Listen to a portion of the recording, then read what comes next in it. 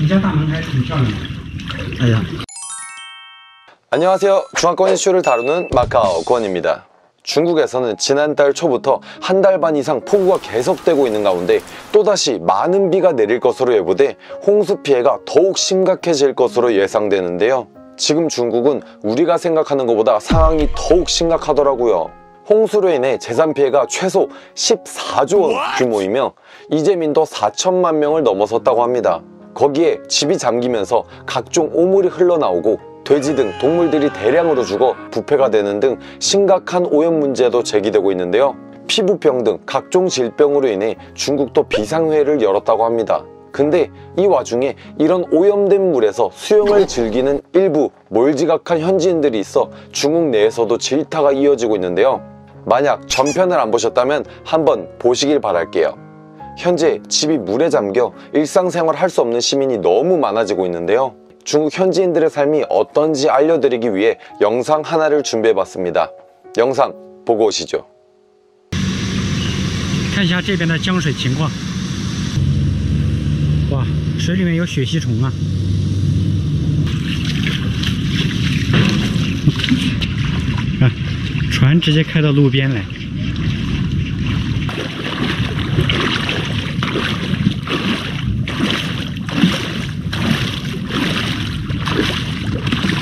你家大门还挺漂亮的。哎呀，每天来检查一下，是吧？不是，取地牢啊。进我们的家了。水最高的时候比现在要高半米吧？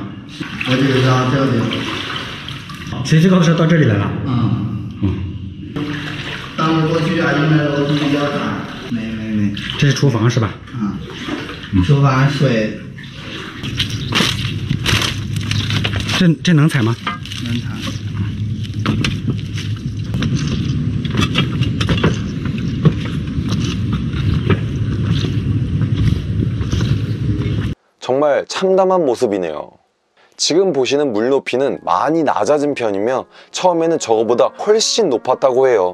그래서 이곳에 사는 청년은 살릴 수 있는 짐은 최대한 높은 곳에 두거나 다른 곳으로 옮겼다고 합니다.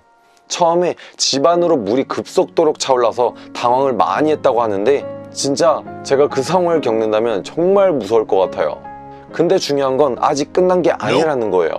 앞으로도 이런 폭우와 홍수 상황이 계속된다면 중국의 피해는 상상 이상일 수도 있다는 게 학계 설명입니다. 우리의 바로 옆 나라가 이런 무시무시한 자연재해로 피해를 보고 있는데요.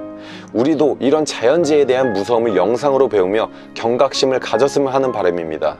오늘 영상은 여기까지고요. 영상을 잘 보셨다면 구독과 좋아요 부탁드립니다. 감사합니다.